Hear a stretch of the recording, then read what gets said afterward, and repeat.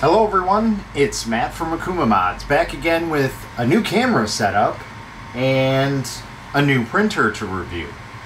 So, as you guys saw, we did the unboxing of the Creality Ender 3 Max, and here it is in all of its glory.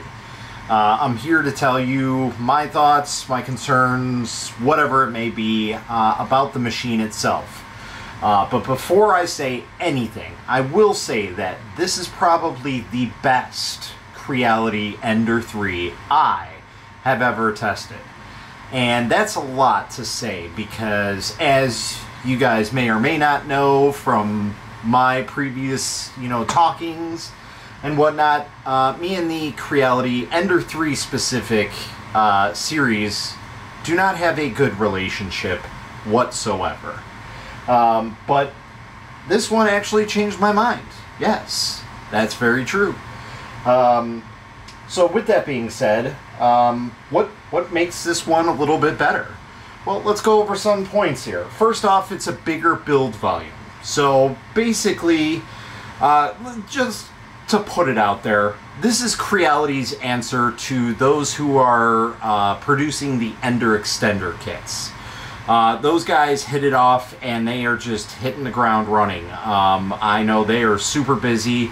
I really don't even know the guys, to be in all honesty, but I know they, they provide some quality parts and basically Creality uh, saw that and was like, well, there's a market for a Ender 3 with a bigger build volume. Yeah, that's technically true, but there's already one out there. It's called the Creality CR10. Uh, and to be in all honesty, that really is what this is kind of based off of. But there are some slight differences. Um, so let's get into that. So first off, you know, we have our uh, typical glass bed. Now these are a little bit different than the previous glass beds that Creality um, has put on their Ender 3 or Ender 5 or really any of their, their models that they had uh, with their textured uh, glass plates. These ones seem to be a little bit different. They look almost identical, but you can tell that the surface feel is a little different than it. Um, it seems to adhere a lot better than any other glass plate that I've used. Um, I've always had issues with uh, adherence um, with these glass plates, and this one seems to work very, very well. So um, I still do use, you know, the can of Aqua Net just on the safe side, but I don't really need to use that with this bed. I've, I've tried it with and without. Um, this print does not have it with it, uh, so it's printing out very well. Um, this filament obviously is, is garbage. This is a Amazon return Sunlu filament. Um, so I'm not expecting much out of it. This is just going to be a part that I'm going to throw underneath a desk and never ever see really.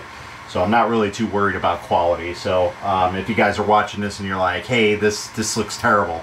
Yeah, it definitely will look terrible because I guarantee that uh, filament is waterlogged. But anyway, let's get back to the Ender 3. So uh, what's the difference between a regular Ender 3 and the Ender 3 Max that we're talking about here? Um, this is obviously a bigger build volume. Um, I want to say it's a 300 by 300 by 340 uh, build volume, and I will uh, double check that here in a second. Um, but uh, for the most part, it is different than the Ender 3 in terms of how it's built and what it provides. Um, saying that, it's um excuse me here. Yeah. So it's 300 300 by 340 and i will leave links uh, affiliate links down in the description if you guys want to buy this from the shop that i bought it from. It is not a creality store but it is a creality retailer um, called tresbo and um, so what's the differences between the ender 3 and the ender 3 max besides the build volume so first off, we have a new hot end design. This is, I believe, carried over from the CRX design. Um, obviously, it's not a dual extrusion printer, so it's just a single head. Um, but the dual fan setup is a fantastic choice.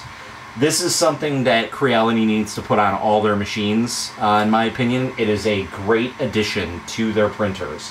Uh, it makes printing very, very easy on these printers and really, if they were to put that on all their uh, models, no matter what uh, price range it is, even if they bumped up the prices a little bit, it would be absolutely worth it because these hot ends get really, really hot, and the Creality hot ends are not great at all. Um, they have a, a, terrible issue with the PTFE uh, butting up against in the uh, the heat break area, um, and there are fixes for that from uh, uh Luke Hatfield, uh, One Bad Marine on Thingiverse. Uh, so it's, a, it's just a common thing. So you'll run across it every once in a while. But uh, yeah, there are there are a lot of upgrades on this printer. First off, we have a Meanwell power supply, which is fantastic. That's something that you should definitely have with a printer uh, of this size and really of this price range. Uh, you know, I, I, went over the dual fan setup, dual 4015s on each side. Fantastic cooling. Uh, we have an aluminum extruder, which is another great thing. Should be standard on pretty much all basic printers. I still don't know why they have plastic, excuse me, plastic extruders uh, on printers, but uh, it is what it is. We also have a filament runout sensor. Now I will say that from time to time I do have an issue with that. And I think it's more or less a retraction issue. The reason being is that it is not sensitive enough to where it recognizes when it's doing a, a, retraction. So I've currently been printing with this disabled, which is an unfortunate thing because that is a really, really nice feature to have. If you guys don't know about filament runout sensors, basically if this were to break at this point, because this is garbage filament, this will run through the sensor, trigger it, and it will stop the print until you load in new filament.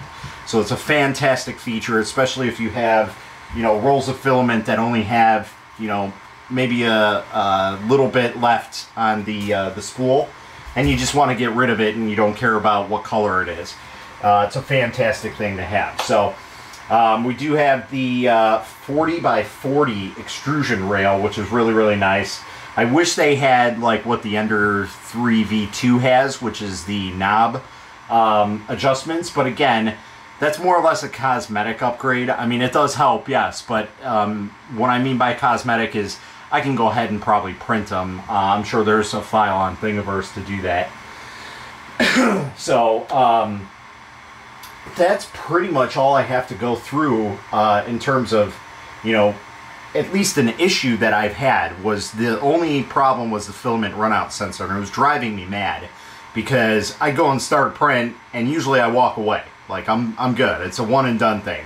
Like I I usually keep my beds level and they're good to go.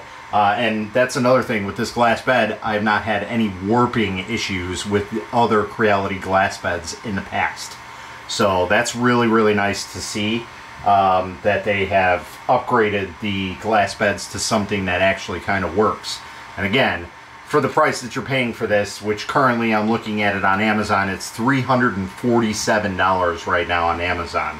Now, obviously, that might change, uh, might go up, might go down in price by the time you guys see this video, but uh, as of right now, uh, shooting this uh, March 7th, uh, 2021, uh, it is $347 uh, on Amazon. And again, you can probably find that cheaper on Banggood or AliExpress or wherever you want to go.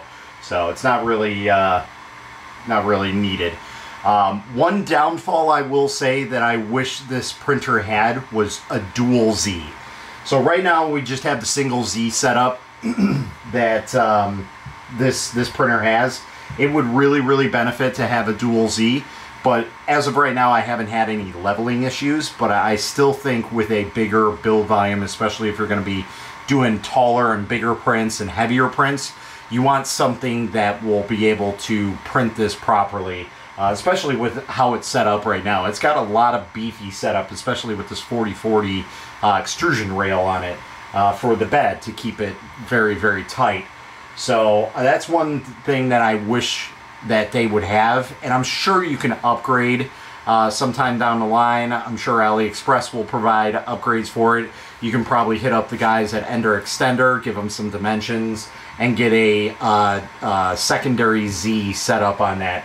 Because uh, really, what you want is a Z belt drive. So you want a belt that goes up to the top, obviously on the backside, and then you want it uh, a single Z here. You don't have to have it uh, hooked up to a motor or anything. You just have to have them both hooked up and linked, basically, in order to get a fantastic print off of them.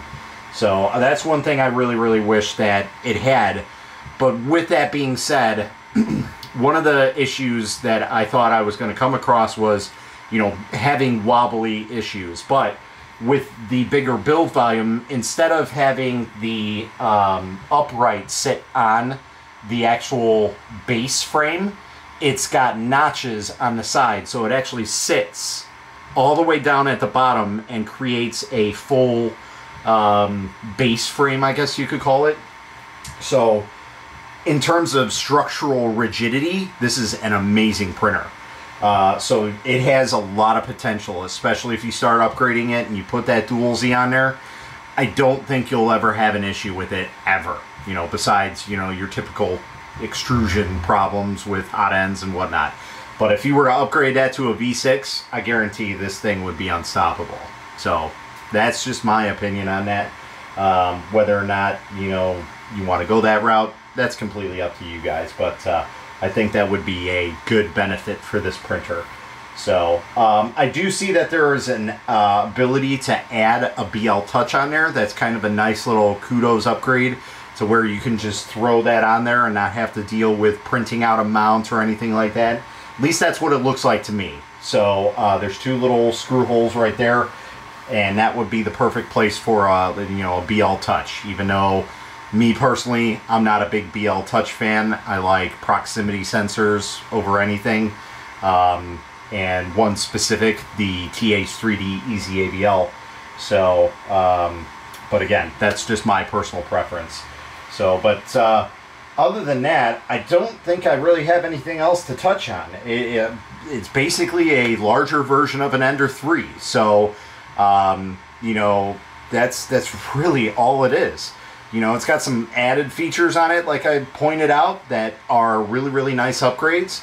Um, you know, and one thing that I wanted to touch on last before I let you guys go here is setting this thing up is far easier than any Ender 3 I have set up. So normally when you set this printer up, you know, an Ender 3, you have to assemble this entire upright and the gantry that causes a lot of issues because a lot of people don't understand that, you know, leveling a gantry is a lot harder than leveling a bed. While you might have a level bed, your gantry might not be, and you might have a lot of issues with that. So it drives a lot of people mad, myself included, when I first started into 3D printing. I didn't understand that concept.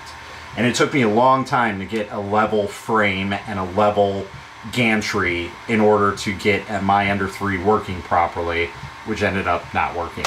So, uh, not because of that, for other reasons. But, um, but this one's nice because the whole upper frame, including the gantry, is all set, ready to go. So it takes probably a half hour to set up, if that. Uh, so what? We have two, four, six, eight screws, I want to say, maybe 10, uh, to set this entire system up, and that's it. That's all you have to do, you know, besides plugging in some wires. That's all you have to do. So it's a really, really nice setup. So if you're looking for ease of use, uh, a bigger build volume, uh, you know, a name that I would say you could trust, but, you know, trying to get a hold of Creality is kind of a mood point. Uh, so, but, I mean, they're a known brand, I should say, out of anything. So um, if you're you're not too sure about getting a printer, this is actually a very very nice Ender 3. I can't believe I'm actually saying that, but that is absolutely true. Um, I really really dig this printer, and uh, it's been printing very very well so far. Uh, you know what? Let me go and get you guys some prints to show off really quick. Um, and some of you guys might know what these prints are. Show you really quick here. If you guys follow me on TikTok, you'll know that I uh, showed these prints off because, well, I wanted to print them. So if you guys are big fans of 80s and 90s uh, movies, then you might know what this is.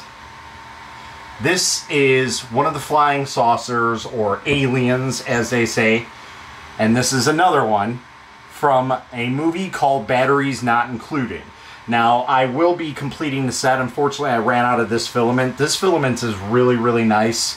Um, I've had several people tell me that, you know, the structural rigidity of this filament is very, very good. And uh, I will post a link, again, an affiliate link of this filament below.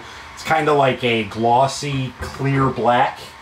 And this is the name of the filament that I used for that. So hopefully I can get that in a, get a good shot. Check the video afterwards. But uh, yeah, they printed out very, very nice. You know, some support um, is left on there. It kind of makes it a little uh, rigid, but for the most part, they came out exactly how I wanted them. So um, you can print these in pieces. These will be on, on uh, Thingiverse, and I'll share links down below uh, for all the stuff that I'm printing right now if you guys really, really want it. I don't know if you'll want this print uh, because it's a mount for my Motorola modem uh, so I can mount it and get it up out of the way. So, but uh, I'll definitely leave links for the uh, the two prints here for the mother and father from batteries not included. So, and again, you can print these in pieces or you can print them as whole. I did the lazy part and I did them as a whole just because I wanted to see how they would come out. Um, these are about 30% infill, so they're they're very very light and they look very very nice. So I, I really dig this color. Look at that sheen, super super nice, and the details are not too bad either. I really really like this. So um, so yeah. Hopefully uh, we'll get some more videos out. We got a lot of printers to do reviews on, um, and I'm hoping to have some more free time. Don't worry, um, we will probably do another giveaway sometime soon. I don't know when that is because the last one I did was just a really, really drug on one, so my apologies for that. But uh, yeah, that's pretty much where I'm going to leave you guys at right now with the Creality Ender 3 Max. So hope you guys enjoy the video, and uh, if you do like the video, go ahead and hit that subscribe button and hit that thumbs up for a like. That would be awesome. Until next time, guys, happy printing.